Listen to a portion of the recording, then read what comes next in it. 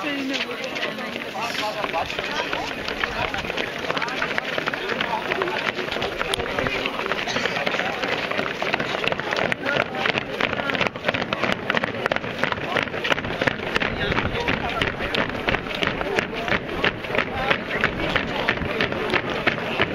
Սարևելյան սահմանամերձ զորամասա, որը իրականացնում է մարտական հերթապահություն ու հիմա ձեր ուտագնացությունը շատ մեծ ունի մեր զինծառայողների վրա, հատկապես ժամկետային զինծառայողների, որոնք ոգեշնչվեն դեն առավել ամուսնապահեն մեր սահմանները։ ու Մեր զորամասում կառուցված եկեղեցին իհարկե նպաստում է զորամասի զինծառայողների բարձր բարոյական մարտական մարտական հերթապահության ընթացքում ավելի զգոն լինելուն, մարտական խնդիրների ավելի ճիշտ կատարմանը, քանզի մեր դիմաց կանած հակառակորդը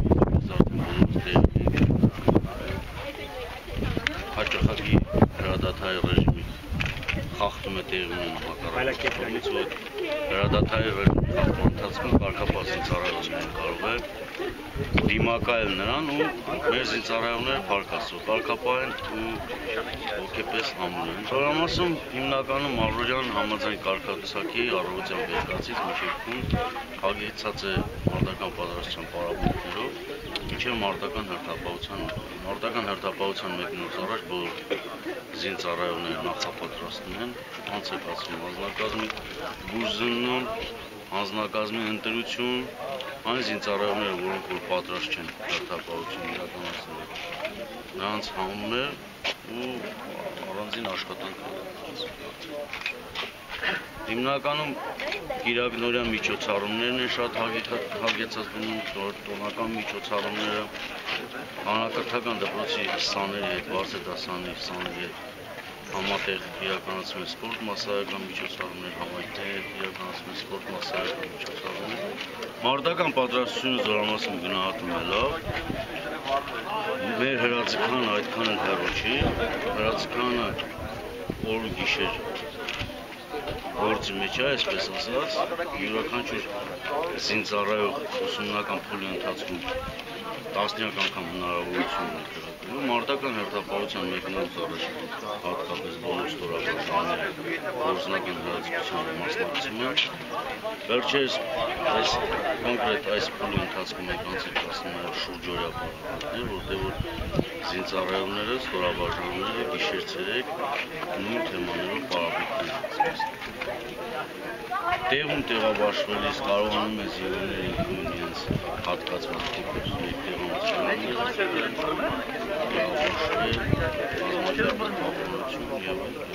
Սահմանապահ զինվորը առաջ զինվորի առաջնային քիչերը կայանում են նրանք, որ ազգաբնակության անվտանգությունը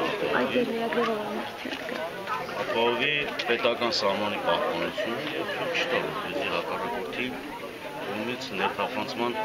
հնարավորություններ ունեն։ Վերջին ժամանակներս դիվերսիոն հետախուզական խմբերի ներթափանցման դեպքեր գրանցվեցին ուժերի գրեթե բոլոր հատվածներում։ Հիմա առավել զգոնությունը բարձրացրած է կոնկրետ դիվերսիոն հետախուզական խմբերի ներթափանցման հավանականությունը կրճատելու նրանց հայտնաբերելու եւ անհրաժեշտ այդ հայտնաբերելու ոչ չաստ։ Որ այս ծնբատի թումա է։ Սերժը։ Ճիշտ է։ Այդ տղամարդը անպայման պետք է անցնի հայոց բանակի ճանապարհով, որպեսզի կարողանա կազմի ընտանիք եւ կառավարի իր ընտանիքը արժանավայել ձև։ Ո՞նց անցնում ծառայությունը։ Շատ լավ։ Ինչ եք անում, ինչով եք զբաղվում ձեր առօրյան ո՞նց Հիմնականում զբաղված ենք հայրենիքի պաշտպանությանը, հայրենի սահման ենք պաշտպանում, իսկ մնացած ազատ ժամանակը սպորտով։ Մի փոքրիկ ուղերձ կուղարկեք այն տղաներին, որոնք դեռ նոր պիտի գան։ Ես բոլորին ցանկանում եմ, որպեսզի իրենց մեջ կոտրեն կարծրատիպը, որ բանակը պետքա խուսափեն, բանակը հայտղու տեղը չի, թող բոլորը գան ծառայեն եւ հասկանան իրականից, որ բանակն է սարքում տղամարդ։ Սպարտակ Թամրազյան Էդմոնդի Շարքային։ ճիշտ է։ Դե լրջություն եմ մարդու մեջ մտնում։ Ու դժվարություններին ասել է կյանքի փորձում քիչ-քիչ հարմարվել, որ միայն ու ասել ոնց ես կարող։ կյանքը մենակ ապրես էլի, ամենաշատը այդ է։ Թող հանգիստ են սա, ինչ ասենք, մենք ստե պատրաստ ենք սաղով համախմբենք մեր թշնամության պայքանը։ Հոսա բոլորը թող հանգիստ են։ առօրյան առօրյան ասենք ուտելու, քնելու, արտանալու այդ ամենը շատ լավ է ուղղակի մնում է համբերություններ հա ամենակարևորը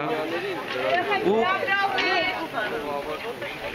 ունեցանեն հասնեն տող դե ովքեր ուզում են խուսափեն կամ մոտիկ զորամասում ծառայել մոտիկ զորամասում ծառայելը նշանակում նույն խուսափելն է ոնց որ հասկացա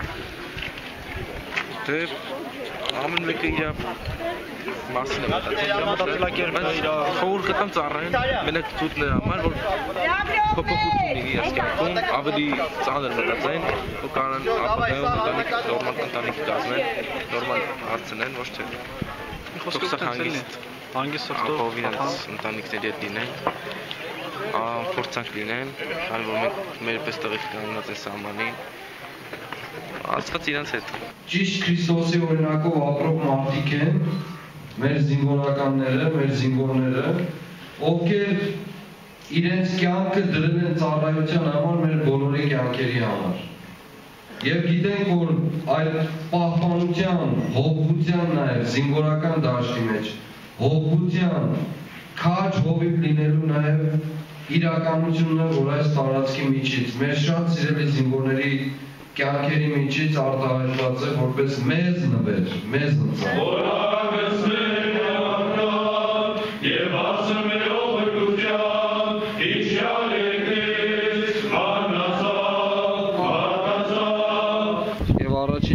վկայությունը տեսնում ենք Ավարայրի դաշտում, երբ Եղիշե պատմիչը նկարագրում է ասելով, թե հոգևորականները շրջում էին զորագունդերի մեջ, քաջալերում էին նրանց, պատրաստում էին ճակատամարտի, պատրաստում էին մարտի եւ ոգևորության այդ ոգին բարձր էին պահում զինվորները այն աստիճան, որ յուրաքանչյուր զինվոր մի եկեղեցի էր դարձել։ Յուրաքանչյուր զինվոր ինքը իրենից եկեղեցի էր ներկայացնում։ Սա Եղիշե պատմիչի խոսքերն են։ Եվ այսօրվա իրականության մեջ անկախ Հայաստանում, անկախ Հայաստանից 20 տարիների ընթացքում մայրաթորի ջանքերով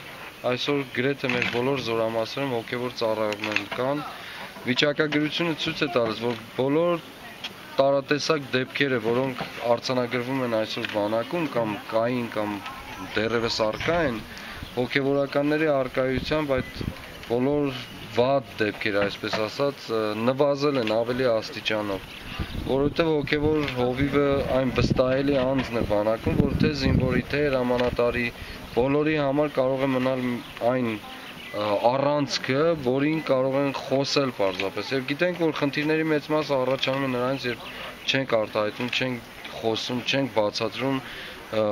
խնդիրների մասին չի հնչում եւ այդ պատճառով էլ զանազան խնդիրներ են տեղի ունենում։ Իսկ հոգեվոր ծառայողի առաջին իսկ պարտականությունն է զբաղվել խնամակալությամբ, հովվությամբ այդ զինվորների եւ հրամանատարական կազմի եւս։ Եվ այսօր մատուրներն էլ վկայում են անընդհատ հիշեցնում են դրա մասին, որ մենք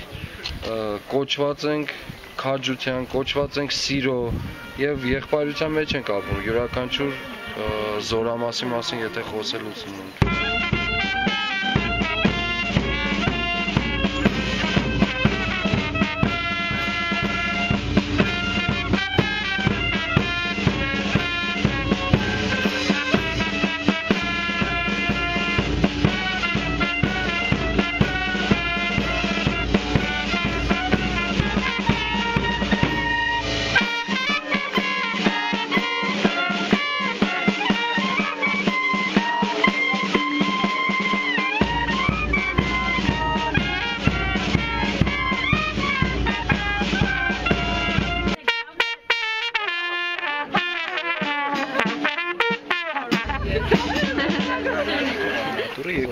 թվականին է կառուցվել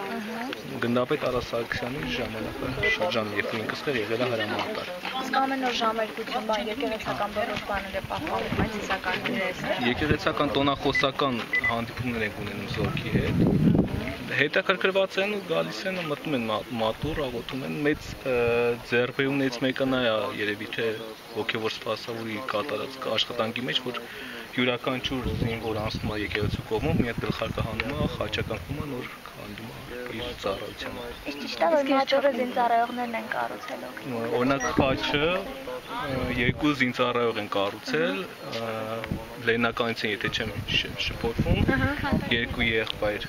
ու իրանց ձեռքով ամբողջությամբ դե անշուշտ որ մատուրը կառուցվել է յուրաքանչյուրն էլ իր